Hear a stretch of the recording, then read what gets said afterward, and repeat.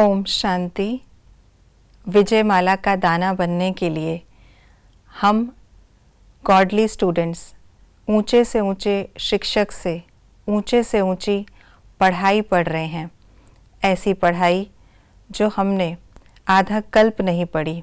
ऐसी पढ़ाई जो इस युग में पढ़कर हम पूरे 21 जन्म तो क्या चौरासी जन्म तक इसकी प्राप्ति करने वाले हैं।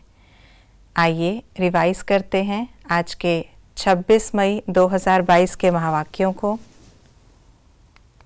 आज के मुरली के अनुसार शिव बाबा की महिमा, उस्ताद, ज्ञान सागर गॉड फादर पतित पावन, सर्वशक्तिवान विश्व रचयिता संगम युग पर आकर शिव बाबा कौन से कर्तव्य करते? नई बातें सुनाते, नया विश्व रचते, बेहद का वर्षा देते, ज्ञान की शिक्षा देते, सहज राजयोग सिखलाते वापस शांति धाम ले जाते सर्विस के लिए डायरेक्शन देते, विश्व का मालिक बनाने के लिए शिक्षा देते। सृष्टि चक्र कैसे फिरता, यह विस्तार से समझाते। निश्चय बुद्धि आत्माओं को किन किन बातों पर निश्चय अवश्य होगा। संगम युग के समय पर, परमात्मा हमारा बाप है, हम उनके सम्मुख बैठे हैं, बाप राजयोग सिखा रहे हैं, वह हम आत्माओं से बात करते हैं शिक्षक बन हमें राजयोग की शिक्षा देते हैं। बाप देही अभिमानी बनाकर साथ ले जाएँगे। सतगुरु बन हमें शांति धाम वापस ले जाएँगे। क्या होने से क्या होता है? चित्रों पर समझाने से मज़ा आता। राजयोग सीखेंगे तो विजय माला में पिरोए जाएँगे। सच्ची कमाई करने से सचखंड का मालिक बनते। ऊँची स्थिति के आसन पर रहने से माया नहीं आती। अभी सच्ची कमाई करेंगे तो सचखंड में सुखी बनेंगे। आज की मुरली के अनुसार गायन इस प्रकार है।